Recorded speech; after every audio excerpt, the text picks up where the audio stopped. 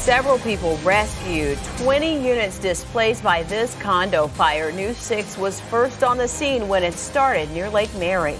Good afternoon. Thanks for being with us. I'm Bridget Ellison. And I'm Kirsten O'Connor in for Justin Warmoth. News 6's Mark Lehman talked to survivors who grabbed what they could and rushed to warn neighbors.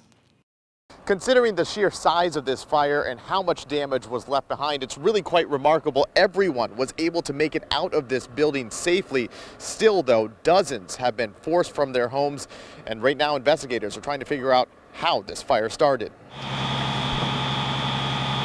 Flames shooting through the roof, lighting up the early morning sky, while people living at the Regency Park condos were sent running for their lives. I see nothing but smoke. I couldn't see more than maybe five feet in front of me. Taj Nahal says he quickly grabbed what he could, banging on the doors of his neighbors as the fire quickly spread. So I knew it's gonna go, it's gonna go real quick. You know, it's just a matter of time. So just go. Firefighters say some residents had to be rescued from a stairwell, but every one of the roughly 50 people escaped without injury. A few cats and a snake were also saved. So then when they brought him out, I was just like, okay. I was like, we're good now. I'm fine. I was like, it's good. After the fire was put out, this is what the inside of one condo looked like.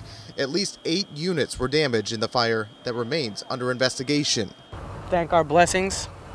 You know, I have everybody safe that I I have in the house. Everything else can just be rebuilt. So here's what's happening today. State investigators are taking a closer look at the damage to pinpoint exactly where this fire started and also how it started. Meanwhile, we're told the Red Cross has been called out here to assist anyone who's been affected by the fire. For now in Lake Mary, Mark Lehman getting results, News 6.